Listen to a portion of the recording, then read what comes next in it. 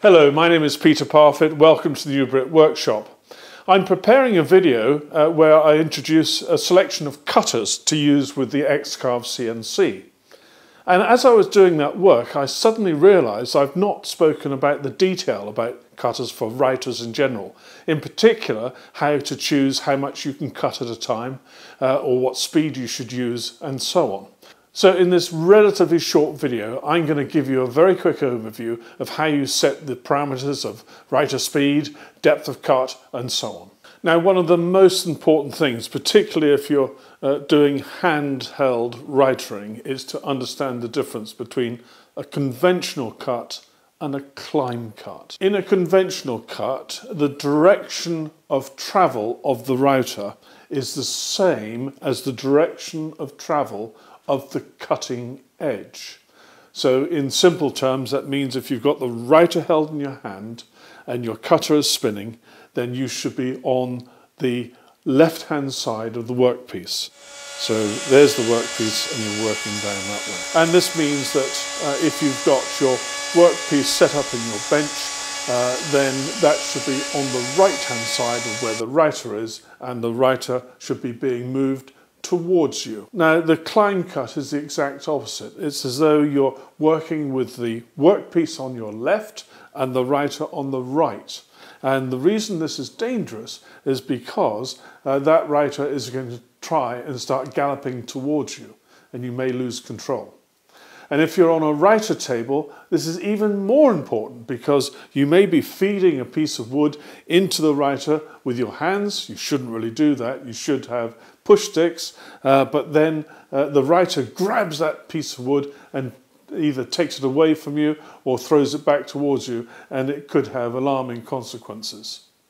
Now on a CNC, there are some advantages in using a climb cut. First of all, the CNC should have the ability to control the, the router and ensure that it doesn't run away with itself. Now the advantage of a climb cut with the CNC is that it leaves a better edge. Now let's examine how much material you can take away with each pass of the router. And this applies to both uh, the handheld router and the router held in a router table, and also uh, to the CNC machine. So how much can you take at a single pass? If you're doing a channel, as I was doing earlier, uh, there is a rule of thumb, and that rule of thumb says that the depth of cut should be no more than half the diameter of the cutter.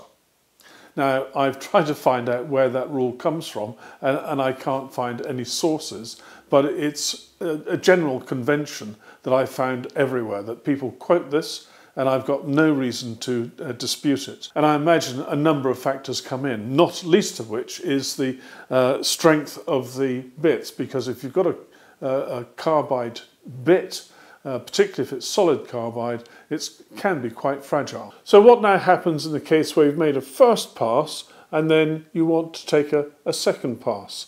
And that second pass is uh, perhaps the same depth, um, but you're going into the material a little bit more. We need some sort of rule of thumb for that too. Well, actually, it's the same rule of thumb.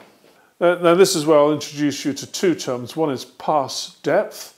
That's the depth of the uh, new cut into the material. And the other is step over, and that's the amount you're going into the material to the left or to the right if you're using a handheld router.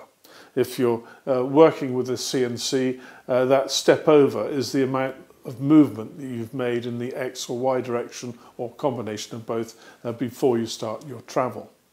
And, and that area of new material being cut should be no greater than it was in our very first example when we we're cutting the channel. So no greater than the product of the cutter diameter and the cutter radius. Now what about the optimum rate uh, that you should be moving the router uh, or if you're using a CNC machine, instruct the machine uh, to do its cutting. At what rate should it be doing? How many feet per second, how many millimeters per second, how many feet per minute, whatever units you're using. And this is where a new term comes in, it's called chip load. And chip load is defined as the amount of material that a single flute on your cutter will take for each revolution of the cutter. And so it may be a very, very tiny amount. Let me show you what I mean. Now let's look really closely at some of the, the chips that are still left in this, this hole here. Now in particular, I want to try and single out one, one of these pieces and try and describe to you why it's important. Well, I've probably got a couple there, but you may just be able to see uh, there's a piece on my finger here. Now that piece I've got there is a piece of wood that was probably taken out by one of the flutes on the cutter and it did it in one pass. And so uh, every time that cutter was spinning, it was taking out a piece about that size.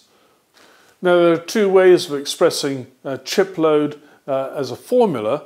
Uh, the first one is that chip load equals uh, the feed rate uh, divided by the cutter speed times the number of flutes. Perhaps it's easier to see it defined in a different way, and that is to put feed rate on the left hand side because its feed rate is something we want to know what to set it at uh, and therefore uh, knowing what the chip load is uh, will give us a clue. So feed rate equals the chip load times the cutter uh, speed uh, times the number of flutes. Now if the manufacturer of the particular router cutter tells you its chip load, from that you'll be able to make a judgment as to uh, the feed rate versus the speed. Now this may not seem to be very important, but it is when you're doing CNC work because with a CNC you don't have that very close feedback between either the router which is in your hand if you're doing handheld routing or the piece of wood which is in your hand if you're using a router table. In both those situations uh, you do get some feedback. You can hear how the router's performing, you can feel whether there's any vibration and you can smell if there's any burning and, and you'll make adjustments accordingly. But when you're using a, machine which is guided by a computer program which you've set up, you've given it the parameters, uh, then this is where uh, you need to have a little bit of knowledge and that's where chip load comes in.